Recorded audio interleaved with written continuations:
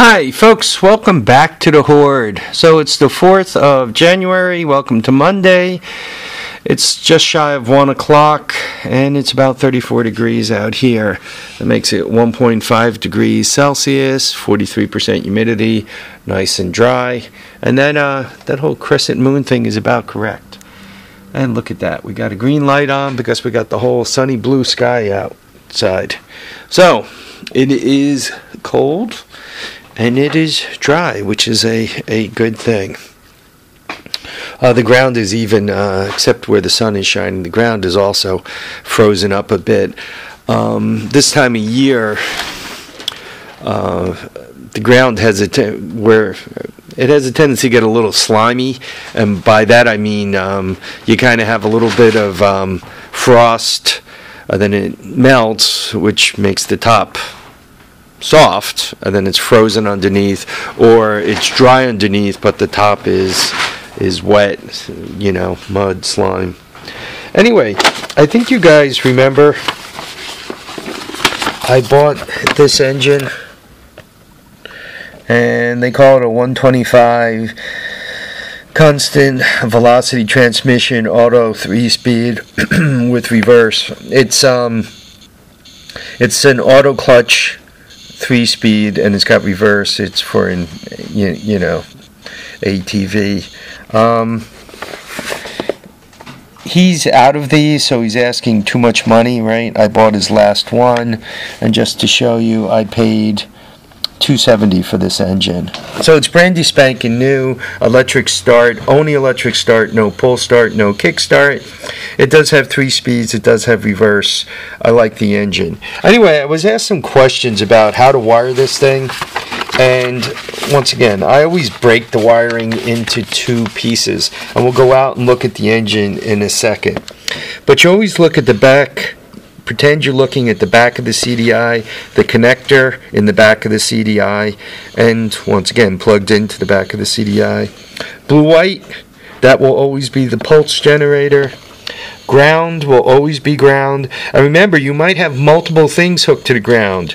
You need the frame to be hooked to the ground. You need the negative side of the battery to be hooked to the ground. You need the um, voltage regulator to be hooked to ground. You need a lot of things hooked to ground, right? Um, one side of the pulser is hooked to ground, one side of um, the ignition coils hooked to ground, or the case of the ignition coils hooked to ground. So you got ground is like multifaceted. So don't look at it, oh, I only have one green wire. What do I do? You have to have a lot of things hooked to ground. So ground is the is the um, body of the machine, right? Ground is the body of the motor all these things got to all be hooked together. Um, center right there, black and white. It's the on-off switch. Ground is off, and I want to mention that ground is off. If you hook that on and off switch to ground, you're going to have no spark, and you're going to be cranky. Um, if you don't want to do anything with it at all, just let it float. Floating means you're on. Um, black red hooks to the stator. You can see it's the corner. And last but not least, black yellow that goes out to your ignition, and the other side of the ignition goes to ground.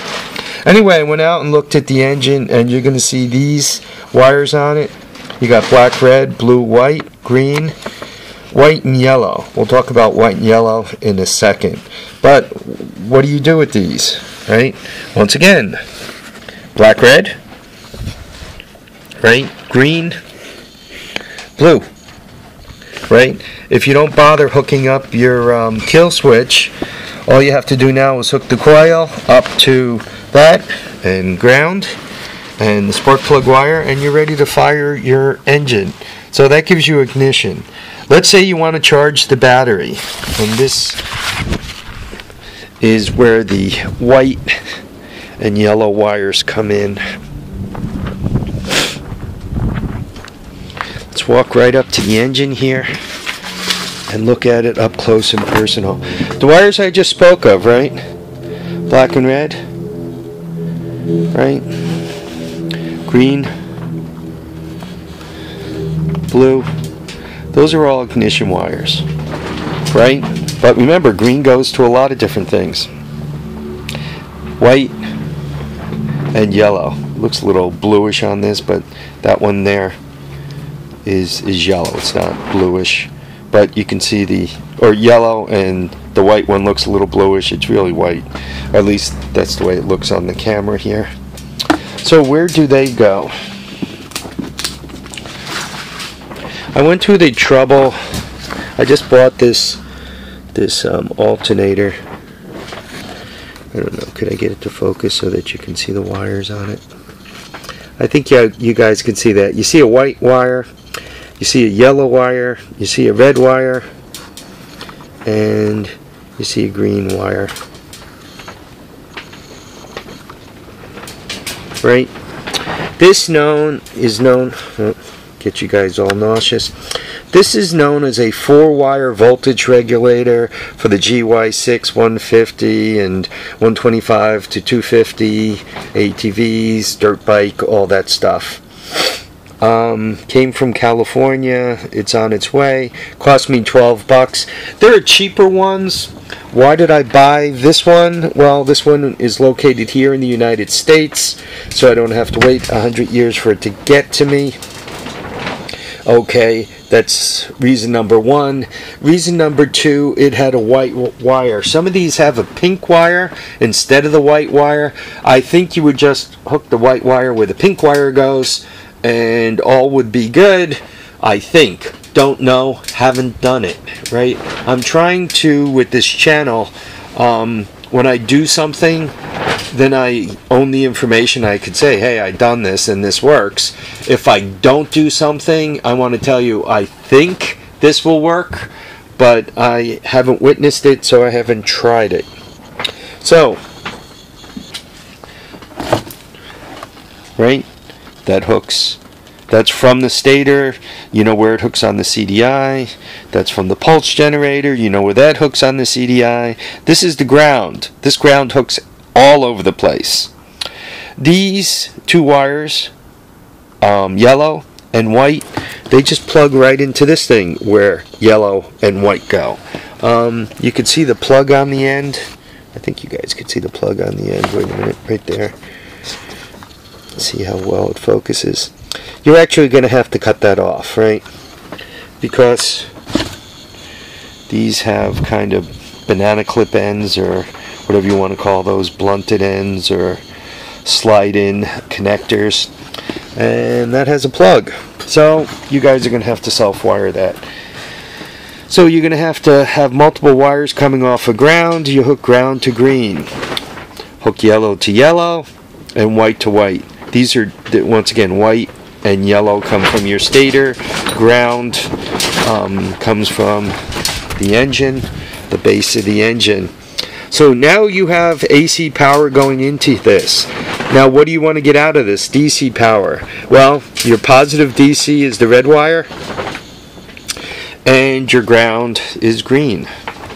So you just hook up the body to the red, or you hook up the body to the green wire, you hook up the negative terminal of the battery to the green wire, and you hook the red wire here right to your positive on your battery.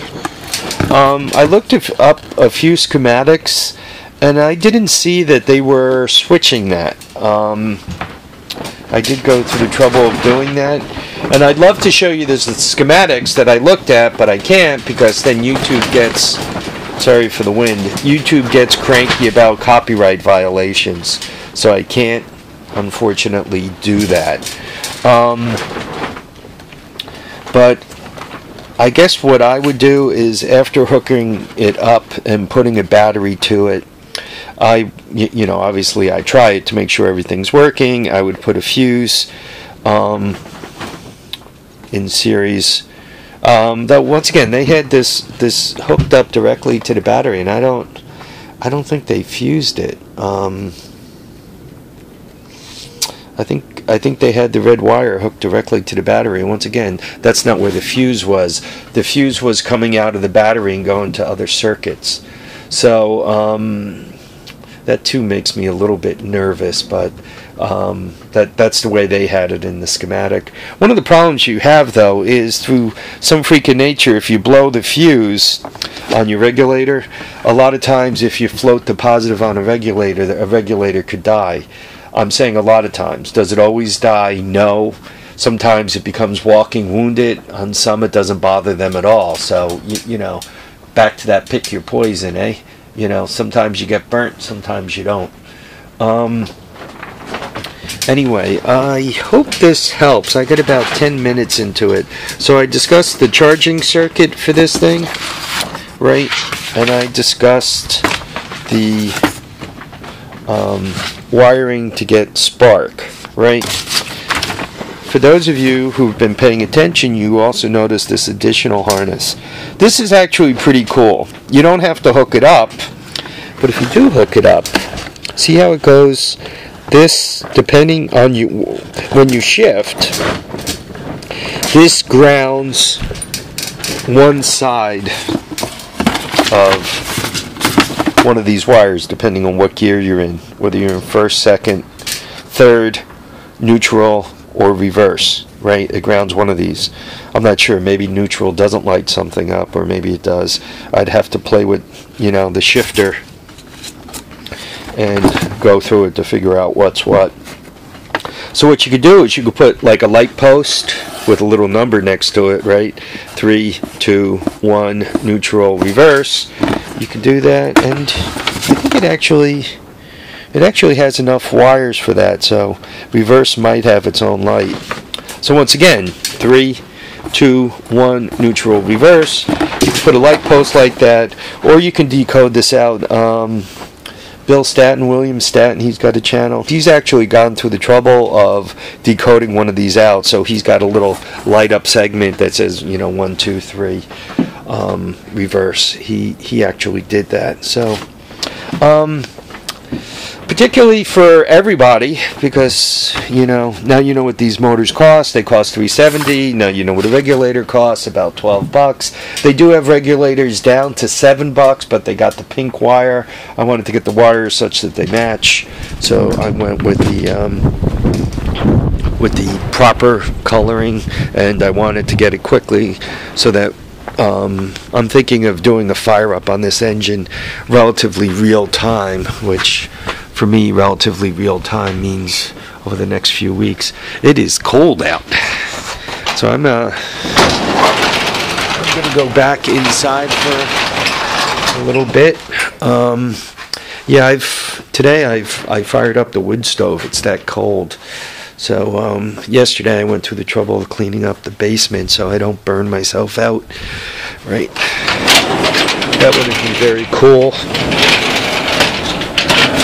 I mean, it sucks being homeless, but it really sucks being homeless in the dead of winter, right? Um, I mean, it always sucks being homeless, but in the dead of winter, it would uh, truly be less fun. Whenever I go in, I try to, you know, grab a piece of wood, right? Never hurts. That's about an hour worth of burn, 45 minutes, whatever. Put it under my shoulder. Anyway, folks, I want to thank you all for watching and commenting and subscribing. Remember to keep your feet down, keep your head up, and enjoy all your days. Please like this video if you do. Um, and uh, we'll catch you all soon. Bye now.